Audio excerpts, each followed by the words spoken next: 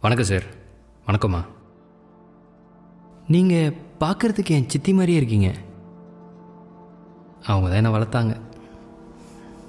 பாப்பா குழந்த. ஹாய் வச்ச நேம் ரெபேக்கா. ஆ சார்.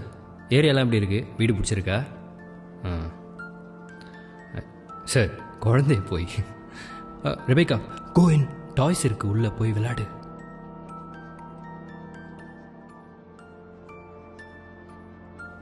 குழந்தைங்களாம் சந்தோஷமாக இருக்காங்களே சார்? ஆனால் நான் அவ்வளோ சந்தோஷமாக இல்லை சார். எங்கள் சித்தி சொன்னல கொடுமை. எதுக்கு எடுத்தாலும் அடி என்ன பண்ணாலும் அடி. இந்த கோழிக்கு கூழ் மாதிரி உருட்டி கீழே வைப்பாங்க. அது ஓடி வந்து கொத்தி கொத்தி கொத்தி சாப்பிடும். அது துரத்தி விட்டு எடுத்து நான் சாப்பிடுவேன். அதான் என் சாப்பாடு. இல்லைன்னா பட்னி தான் அப்படியே நடந்து ஸ்கூலுக்கு போவோம். ஒரு ப்ரெஷராகவே இருக்கும். இப்போ பாருங்க.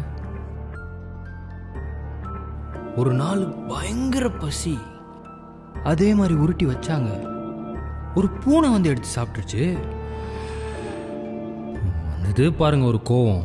அந்த பூனையை அப்படியே எடுத்துட்டு போய் தேர்ட் ஃப்ளோர் ஏறி மாடியில் இருந்து டம்முன்னு கீழே போட்டேன். என் ப்ரெஷரே இறங்கின மாதிரி இருந்தது.